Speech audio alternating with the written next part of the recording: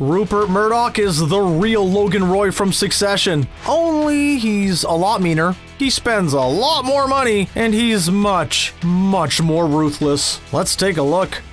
You don't just wake up one day and find that you've made 17.6 billion. You only get wealth like that if you build yourself an epic empire the likes of which no one has ever seen before. Well, unless you inherited the epic empire your family made. Rupert Murdoch's story was a little bit of both. He actually inherited a chain of newspapers from his father when he passed while Murdoch was 22 years old. This was still the small time though. Over the course of his career, Rupert Murdoch managed to pull together a massive news empire called News Corp that contained the likes of Fox News, The Wall Street Journal, Harper Collins, Sky News Australia, and so much more. He's credited for completely reinventing the concept of a newspaper for the modern world. And before you start thinking that this is going to turn into a video about the beauty of journalism, I mean that he reinvented news that was mostly concerned with actual news news into the trashy tabloid journalism that most people claim they hate, you know, until they drop down a deep rabbit hole on the relationship between Megan Fox and Machine Gun Kelly. I mean, come on, who cheats on Megan Fox, you know?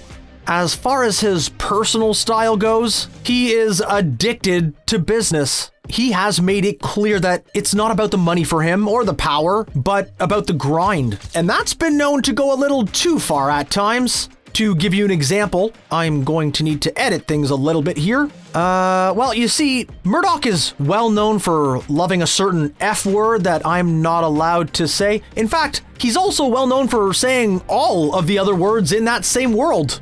For instance, when it came time to motivate his workers at the Sunday Times to get one of their papers out on time, his uh, motivational speech to his workers went something like, uh, quote, you F-wit, you B-word, get this blanking newspaper out, end quote. Ah yes, inspirational. While you might think that has made him have some type of god complex, he evidently still sees himself as an underdog who is constantly going up against the world. Apparently no one told him that he owns like half of the world. You know, you'd think that he'd put that together after all of the controversies he's gone through. As you might expect, Murdoch and his companies have had a ton of controversies over the years, and I'm not just talking about the ones about how some of his news organizations cover world events. These are massive controversies that would destroy anyone else. In July of 2011, his companies were under investigation for hacking phones of prominent individuals. There were also massive investigations into corruption and bribery charges against Murdoch. He was also forced to admit that his companies were responsible for supporting election fraud claims that everyone knew were false. When this guy screws up, oh, he screws up big, and in the kind of ways that can reshape world events. When it came to the Fox News sexual misconduct allegations that have swarmed around the company for years, Murdoch was famous for brushing them off as nonsense or wanting to be insulated from knowing anything about them.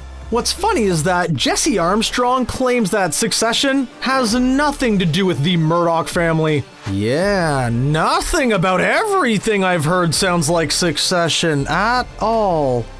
Let's uh, just shift gears a little bit here, pun intended, and uh, talk about how exactly Murdoch spends his sometimes ill-gotten gains. His car collection is all business all the time. Just look at one of his main rides, his Range Rover autobiography. This $140,000 SUV is elegant, comfortable, and it looks like it could run someone down if it needed to. And I'm sure that's the kind of thing he looks for when he looks for a car. The interior of this car was clearly clearly made for businessmen. He also likes to cruise around in a fine Mercedes. I mean, who doesn't really? One of the cars he's been photographed with pretty often is his Mercedes-Benz S-Class. Like all of his cars, it is all business and all comfortable interiors for $40,000. This is his most economical ride. Then there's his Mercedes Maybach S600, which comes complete with the massage chairs, cooling cup holders, ambient interior lighting, and all sorts of other fun features. He's definitely the kind of guy who is more used to being driven around than he is driving himself. My favorite of his cars, if I may, 100% is his Rolls-Royce Ghost Black Badge.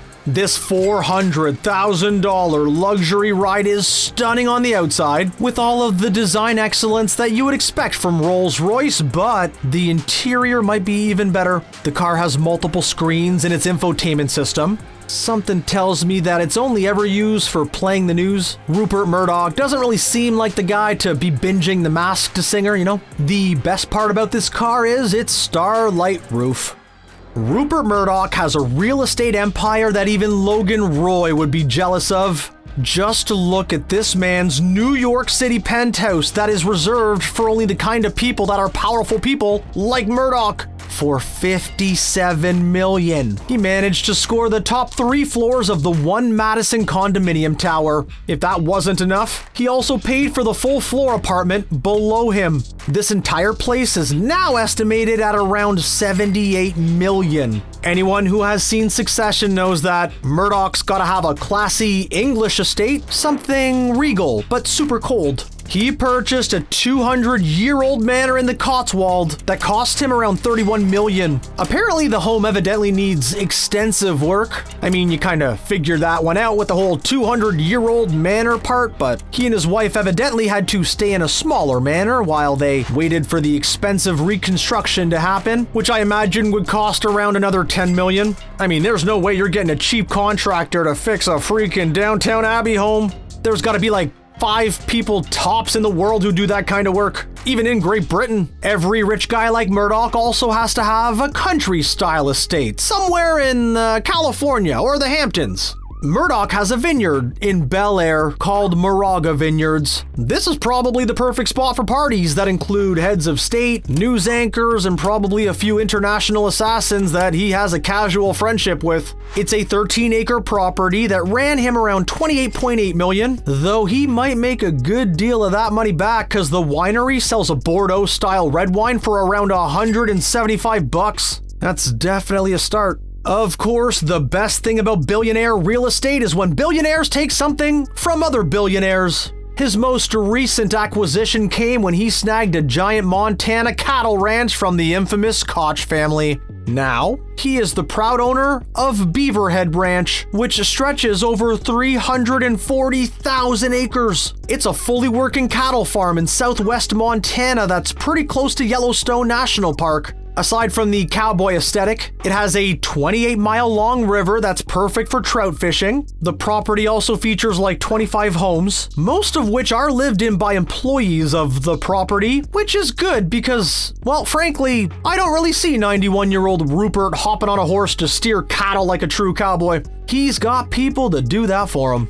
This was marked as the largest purchase in Montana history, which for Montana is really saying something. Does he really need a fully functional cattle farm? Probably not. Maybe he just got tired of being compared to Logan Roy from Succession and fancies himself more of a John Dutton from Yellowstone instead. To be honest, if you found out in the news that he once drove a dude out to a state border to get in a gun duel with him, would you even be a little surprised? I know I wouldn't be. Someone with the kind of stats that Murdoch does simply has to own their own yacht. It would just be wrong for him not to. His yacht is, of course, truly stunning. The Vertigo. You ready?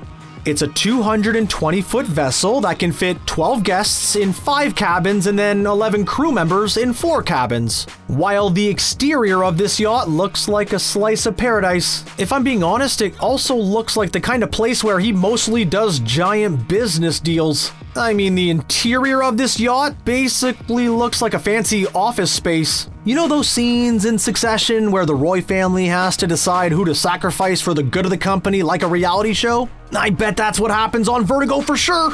The ship ran him 50 million, but that's only a small part of yacht ownership. This kind of yacht costs around 5 million annually just to keep up with. Murdoch has also got a series of private planes. These include a 15.5 million Gulfstream G550 and a 55 million Gulfstream G650. Both of these planes are also all business all the time. You know, I'm pretty confident that there's a secret button on at least one of these planes that, you know, when he presses it, it drops an employee out over the ocean so he doesn't have to fire them. I mean, I'm sure you just need to use it once as a warning, and then boom, you really don't ever have to use it again. But the employees know it's there, you know? I don't know whether to be impressed or terrified of this man. Maybe a little bit of both. See ya!